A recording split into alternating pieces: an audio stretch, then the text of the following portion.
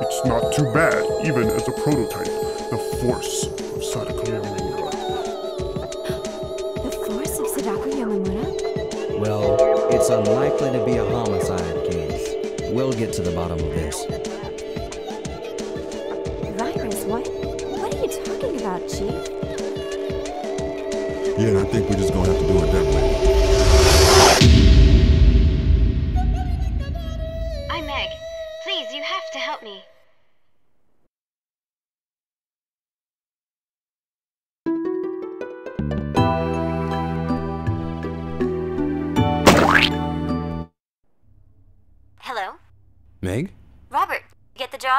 Yeah, I'll be working with you starting tomorrow, so I guess I'll be seeing you soon. Really? That's great. So why don't we go out for a celebratory drink? Okay. I'll get ready. Promise? Promise. Bye for now. Well, who the hell does she think she is? She hasn't any idea of how important this project is. But Sadako.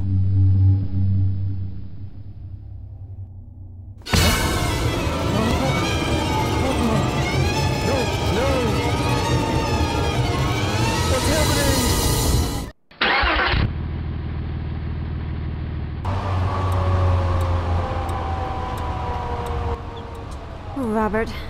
He didn't sound so pleased, even though it's been quite a while since we spoke. He's absolutely Mr. Thickhead, even on my last birthday. Well, today's the day he has to make up for it.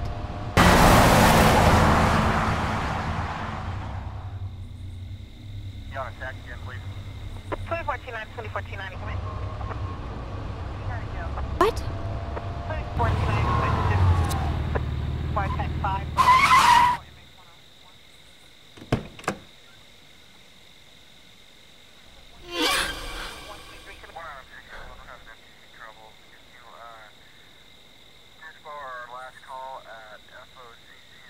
Robert?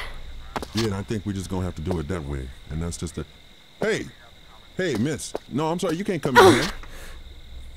You're gonna have to get out of here. Or do you live here? What's happened, officer? What's happened, officer? No, Watch I'm, out. I'm asking you a question. Do you live here? Hello, Miss? Watch out. Robert? Hello? Hey. Oh. hey, stop, lady.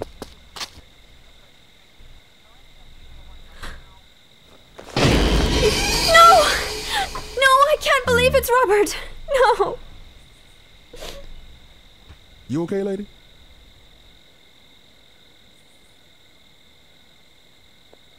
Meg, Meg, what's going on over there?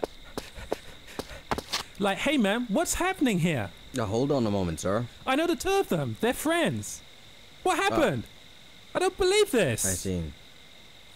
Oh, Meg. Could you explain your relationship to either her or the victim? Yeah, I know the two of them. They're both my friends. I'm Jack, and this is Robert's girlfriend, Meg. Oh, I see. Well, I'm what sorry. happened to... to Robert? Actually, we don't yet exactly know what happened to him this evening. You don't know? Isn't this a murder?